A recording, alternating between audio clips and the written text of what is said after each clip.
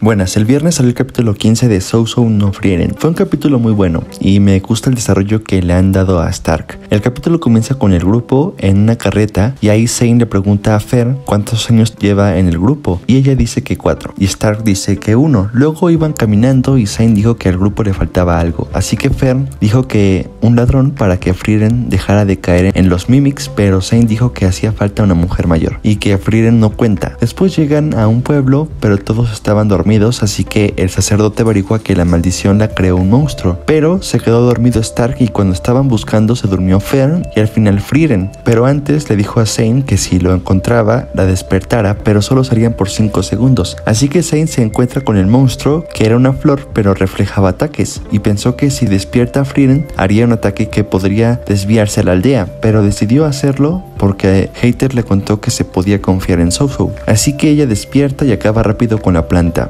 Así que todo el pueblo se lo agradece y se van. Luego como que lo dejan a la especulación, pero puede que Zane haya pasado tiempo con la señorita del pueblo. También Frieden felicitó a Zane por su trabajo. Entonces después de viajar, el grupo llega a otra ciudad pero sin dinero. Pero un hombre llega y le interesaba a Stark, así que le dijo que fuera a su mansión. Ahí le contó que le pagaría 10 monedas de oro si se hacía pasar por su hijo que murió, que se parecía mucho a él. Además viene de la misma aldea y lo harán porque no pueden hacer que baje la moral hasta que recuperen la fuerza. Entonces como habían aceptado, a Stark le dieron un curso intensivo de etiqueta. Después Stark al hablar con el señor, el le contó que tiene un segundo hijo pero que es malo y eso a Stark le trajo recuerdos. Pero también le dijo que su hijo es persistente y eso le ayudará en el futuro. Pero como él se lo dicho a su hijo, él no mejora. Luego a Fern también le dieron un curso de etiqueta para que bailara con Stark en el baile, así que también sufrió. Así que el día del baile, Stark y Fern hacen un baile y se le estaban pasando bien. Así que tal vez algunos esperen un chip entre Fern y Stark. También Zane invitó a bailar a Frieren, pero ella dijo que tiene que comer pastel.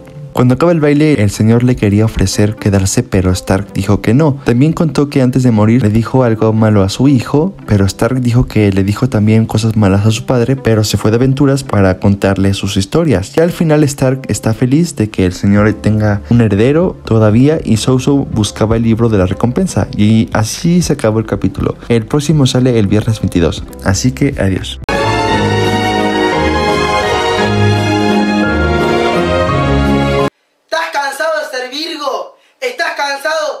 De no tener novio?